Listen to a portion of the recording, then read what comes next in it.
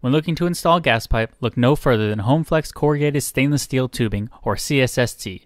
The stainless steel construction gives it the rigidity the pipe needs to hold its shape, while the corrugations in the pipe give it the flexibility to bend around corners, thus reducing the amount of pipe and fittings needed for the application versus black iron pipe.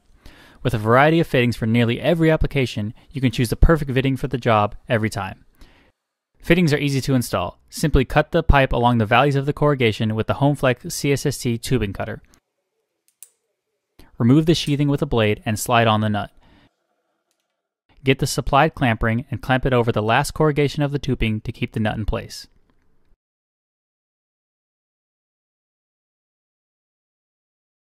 Now attach the threaded part of the fitting. Make sure to turn the nut, not the fitting. The fittings work by compression and for a perfect seal, turning the nut only is necessary. With HomeFlex CSST, you can go from the gas source to the gas appliance quicker with as little as two fittings. As you can see with the black pipe, you have to measure, cut, thread, and attach a fitting for every turn.